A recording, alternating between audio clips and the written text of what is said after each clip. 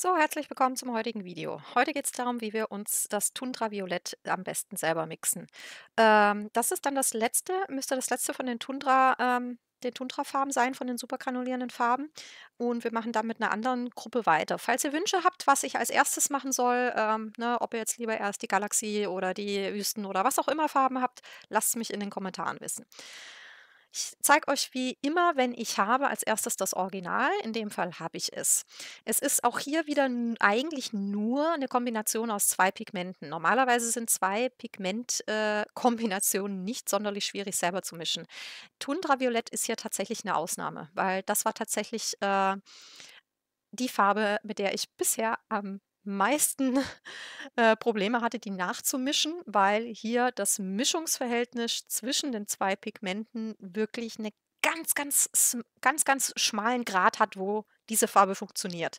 Has, hat man wirklich nur einen Hauch zu viel von der einen oder von der anderen Farbe, ähm, kommt für einen, zu einem ganz anderen Ergebnis, was dann mit dieser Farbe nichts zu tun hat. Deswegen musste ich das Video tatsächlich auch mehrfach drehen.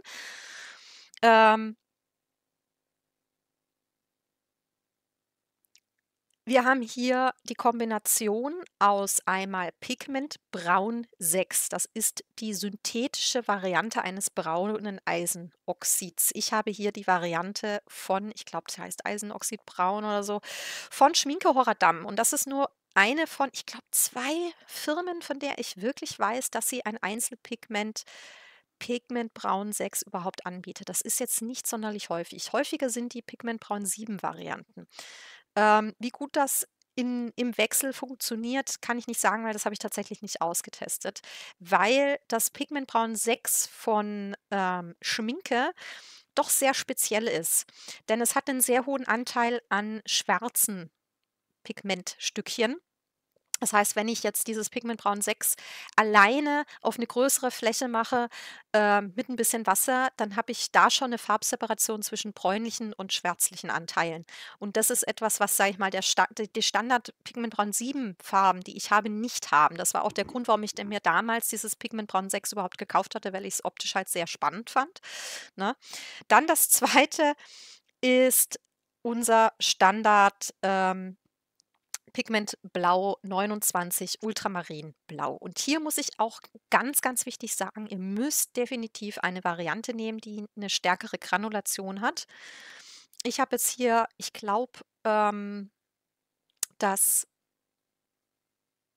Französisch äh, Ultramarin von Daniel Smith genommen. Ich bin mir aber jetzt ehrlich gesagt nicht mehr ganz sicher, weil das Video habe ich schon eine ganze Weile hergedreht und ich habe es mir leider nicht dazu notiert.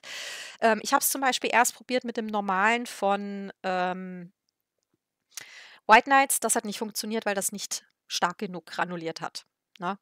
Wir haben hier quasi eine Mischung aus einem Blau und einem Braun. Und wir kriegen dann, wie man jetzt hier auf dem Original-Swatch sieht, eine Mischung aus, ich würde jetzt mal sagen, blauen, braunen und eher schwarz-grauen Anteilen. Man sieht jetzt hier, meins geht jetzt optisch deutlich mehr in Richtung grau und es ist auch deutlich heller. Und das war der Punkt dann, wo ich gemerkt habe, okay, ich muss noch mal nachmischen. Ähm, und ich kann euch echt sagen, ich habe verdammt viel rum hin und her gemischt, äh, um das hinzukriegen. Ich glaube, das war echt jetzt von allen, die ich bisher gemischt habe, das, wo ich, wie gesagt, nicht nur am meisten Probleme hatte, am meisten Farbe gemischt habe, dann die die Mischungen, die ich hatte, doch immer wieder ein bisschen mehr blau, ein bisschen mehr braun, das doch dann einmal komplett weggekippt habe, noch mal neu angefangen habe. Es ist also, das ist wirklich nicht so einfach und, ähm, ich glaube tatsächlich, wenn das jetzt eine Farbe ist, wo ich sage, ich würde die ich benutze die sehr häufig, dass das tatsächlich eine Farbe ist, wo mir dieser Aufwand tatsächlich zu viel wäre und wo ich sagen würde: „Ah, scheiß drauf, ich kaufe mir da jetzt einfach, äh, das fertige Produkt.“ Aber wie man sieht hier, ich habe es hinbekommen. Ähm, es ist möglich. Es ist nur in dem Fall wirklich aufwendiger. Einfach, ähm ja, man sieht, das Farbergebnis ist nicht optimal im Verhältnis, ne? Äh, kann natürlich jetzt auch ein bisschen am wie man es aufträgt und sowas dran liegen, aber, äh, wie gesagt, einfach nur zu wissen, das ist definitiv etwas, wo selbst ich mit viel Erfahrung, sage ich mal, ein bisschen mehr Probleme hatte. Weil einfach im Normalfall ist es so, dass ich eine relativ breite, äh ja, Range habe, sage ich jetzt mal, wo ich sage, ähm, die Kombination von Pigment A und Pigment B, ne? Dass ich sage, okay, ähm, ich sage jetzt nur mal als Beispiel ich habe 'ne Möglichkeit zu sagen, ich mische 50/50 oder ich mische, ähm, 60/40. Jetzt nur mal als Beispiel und komme ungefähr zum gleichen Ergebnis. Und hier habe ich halt eher so dieses Gefühl, es es ist 'n Ding von sorry, ähm, anstatt, ne, zwischen 50/50 und 60/40, du hast eher so 'ne Varianz zwischen 50/50 und, äh 51/49 oder 52/48. Also, da ist der Handlungsspielraum, wo ihr genau zu diesem Farbergebnis kommt, einfach sehr, sehr schmal. Und das macht das Mischen tatsächlich, ähm, hier schwieriger. Ja, hoffe, das hat euch trotzdem gefallen und geholfen.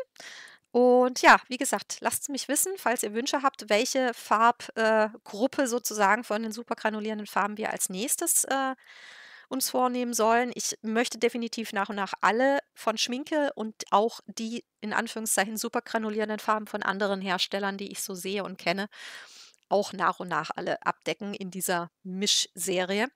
Aber falls ihr, wie gesagt, Wünsche habt, was ihr als was euch am meisten interessiert oder was wir als Erstes abdecken sollt, lasst's mich mir in, äh, einen Kommentar einfach da. Ansonsten einen Daumen hoch oder ein Follow, wie immer, bin ich super dankbar dafür, weil's mir und dem Kanal sehr weiterhilft. Vielen lieben Dank fürs Zuschauen. Ich hoffe, ihr habt 'n ganz tollen Tag. Bis bald.